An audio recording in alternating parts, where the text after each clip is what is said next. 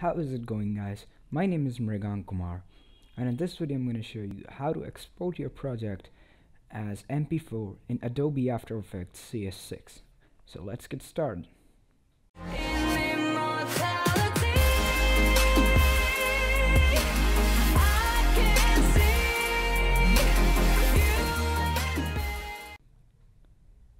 So once you have your project open, what you're going to need to do is you're going to need to click on composition and click on add to render queue.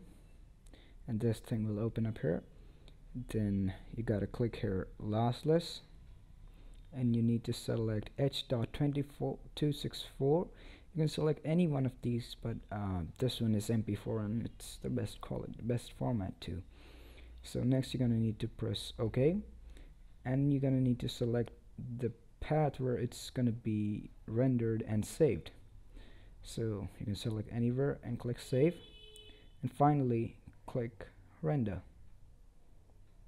And that's it. Your project will be rendered very soon. Thanks for watching. Like comment and subscribe. For more